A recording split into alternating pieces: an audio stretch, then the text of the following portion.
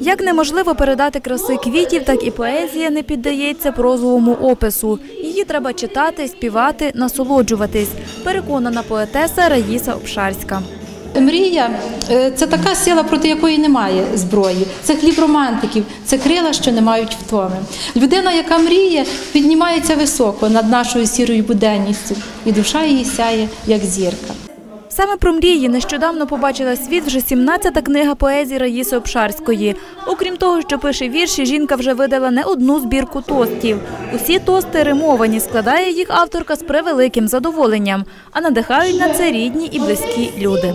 Е, Без гарного тоста я скажу вам просто горілка не та і вино не смачне. У мене є такі е, слова. Ну, звичайно, я це говорю не для того, щоб ми всі пили, але коли є хороша, гарна компанія і за келихом е, іскристого шампанського, чи, наприклад, домашнього червоного е, виноградного вина, хочеться сказати слова е, гарній людині, Е, особливо коли якась подія, чи день народження, чи якесь родинне свято, то тоді, звичайно, всі ми стаємо поетами і хочеться говорити гарні словами віршами. На презентацію збірки поезії прийшли родичі, друзі по перу та колеги поетеси. Раїса Обшарська, ведуча поетичних програм на радіо.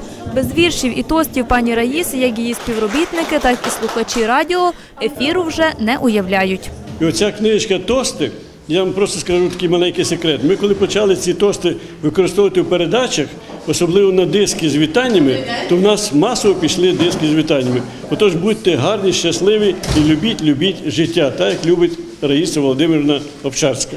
Найрідніші люди поетеси, її діти і онуки зізнаються, захоплюються творчістю своєї мами і бабусі та дуже пишаються нею. Саме вони найперше і надихають Раїсу Обшарську на творчість. Я намагаюсь допомагати. Завжди ми з мамою маємо е, якісь спільні теми. З нею дуже цікаво. Мені взагалі дуже е, пощастило. Ніколи ні я, ні друга невістка не називаємо пані Раїсу свекрухою, тільки мама. Дуже її любимо.